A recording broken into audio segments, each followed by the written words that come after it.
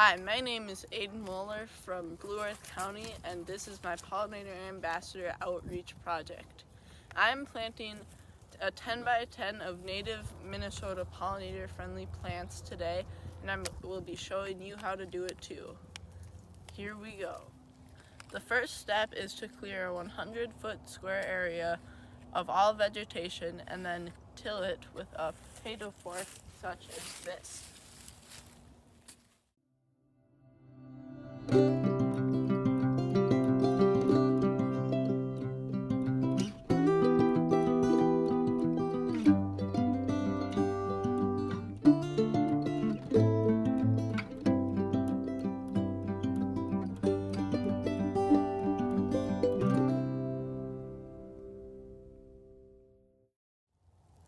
Next, you would like to smooth the soil with a rake.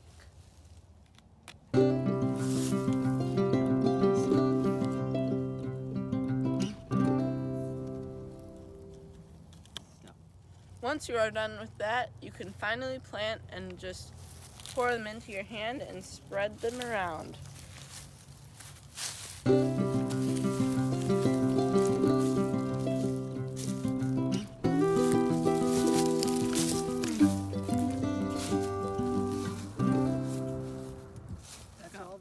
The optimal time to plant these is in the spring when the danger of frost has passed.